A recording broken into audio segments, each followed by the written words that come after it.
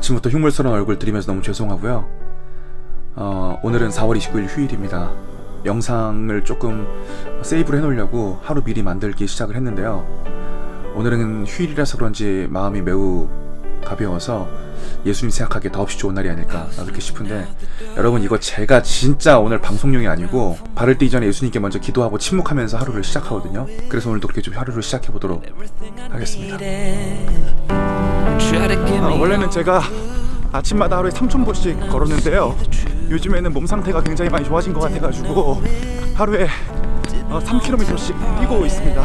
근데 여러분 보시기엔 3km가 별거 아닐지 몰라도 이게 저한테는 엄청난 거거든요. 왜냐하면 제가 12년 전에 교통사고로 좀 심하게 당해서 그 이후로 좀 뛰기가 힘들어지게 됐는데 요즘 들어 몸이 조금 많이 괜찮아진 것 같아서 어, 뛰는 이 거리수를 조금 늘려가고 있어요.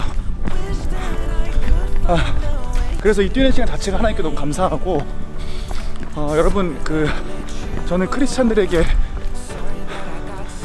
운동이라는 것이 굉장히 중요하다고 생각을 하거든요. 사람이 생각보다 강하지 않기 때문에 우리가 육체가 조금 피곤하거나 힘들 때면은 영적으로도 침체되고 다운되는 경우들이 굉장히 많이 있어요. 그래서 어, 우리 인생에 어떤 결정적인 순간이 있을 것이고 그 결정적인 순간에 하나님과 내 일에 집중할 수 있는 집중력을 잃지 않으려면 우리에게는 체력 관리야말로 영성 관리라는 거를 생각을 하면서 저도 조금이지만 계속적으로 꾸준하게 운동을 하려고 아, 진짜 노력 중입니다.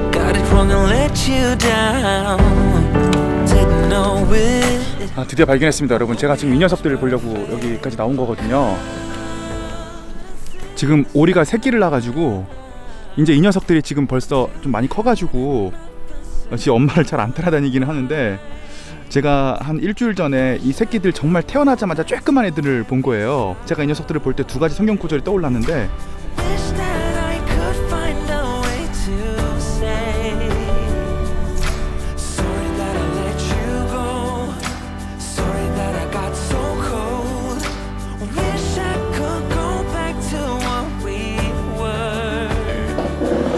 우리는 굉장히 하루에도 많은 생각들을 해요. 많은 것들을 인식하고 많은 것들을 고민해요.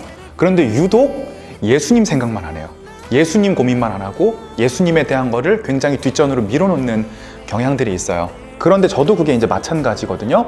그래서 제가 영상을 하루 종일 찍으면서 예수님을 계속적으로 생각하는 훈련, 버릇들을 다시 한번 새삼스럽게 기르면서 이러한 감정들이 여러분께 고스란히 어, 전달되었으면 좋겠다고 생각을 하는 거죠. 제 일상을 여러분들 앞에 좀 공개를 함으로써 정말 부족한 한 사람이 어떻게 하나님 생각을 하기 위해 노력하는지 이 모습에 조금 어, 집중을 해주셨으면 좋겠습니다.